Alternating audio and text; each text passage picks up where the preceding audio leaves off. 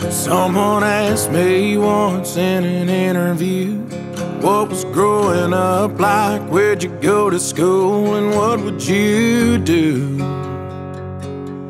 If you weren't doing this?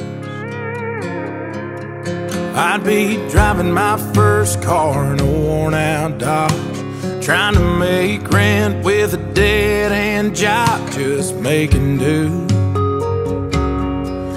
tips in a jar, my guitar in an old bar stool.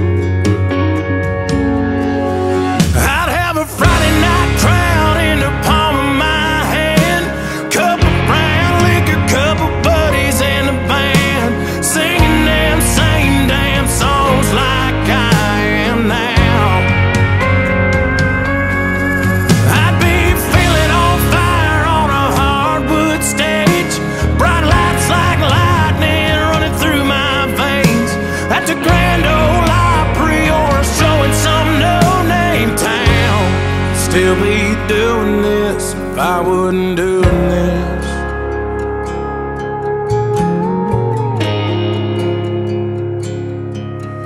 I'd still be the same guy they knew back in the day who was burning CDs just to give away, paying his dues.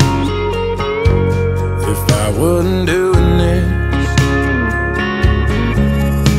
five deep in a van head full of steam.